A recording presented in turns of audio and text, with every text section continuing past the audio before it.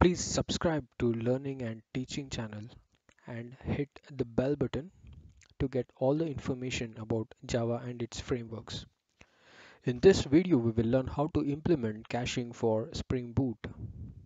Let's see what is Spring Cache.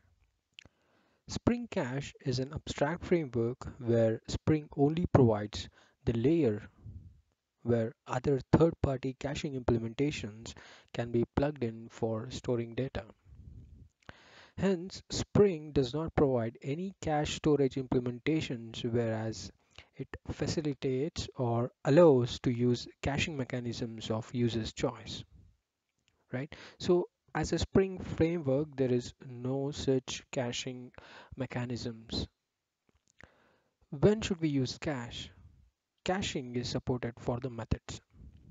It's efficient to use when the methods return the same result for the given input for the multiple invocations. What does Spring provide us? Spring provides a concept called cache abstraction. The idea is to provide a set of annotations to manage the caches.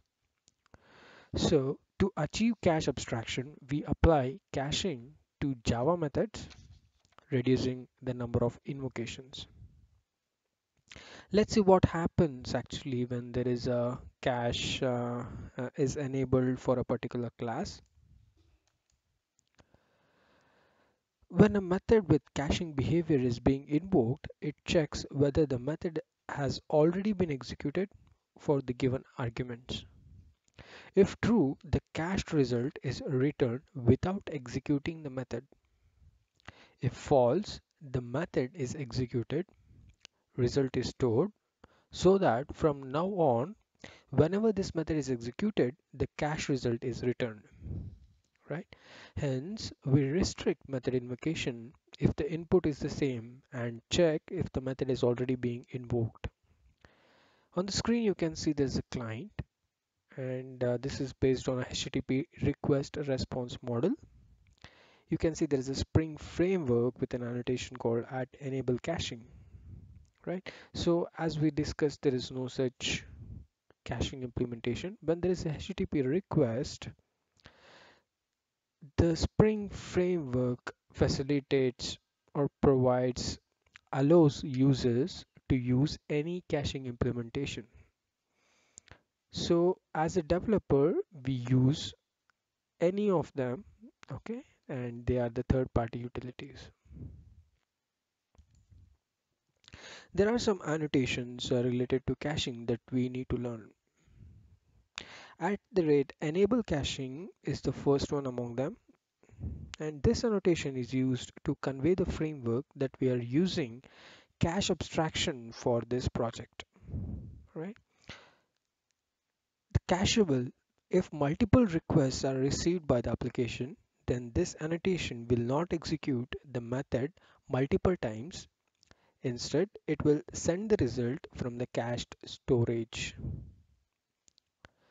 cache put this annotation is used to update a cache entry. Cache evict. This annotation is used for removing a single cache or clearing the entire cache from the cache storage. If you set the all entries equal to true, then the entire cache will be cleared. At the rate caching allows multiple nested at cacheable, at cache put, and at cache evict to be used on the same method. So this is a combination of three annotations which are cacheable, cache put, and cache evict. So you can use this one annotation for all of these. So at cache config, we annotate at the rate cache config at the class level to avoid repeated mentioning in each method right? If you have multiple operations in a class where each operation has to be given cache configuration details right? So it it is a it is a kind of tedious job right? Thank you for watching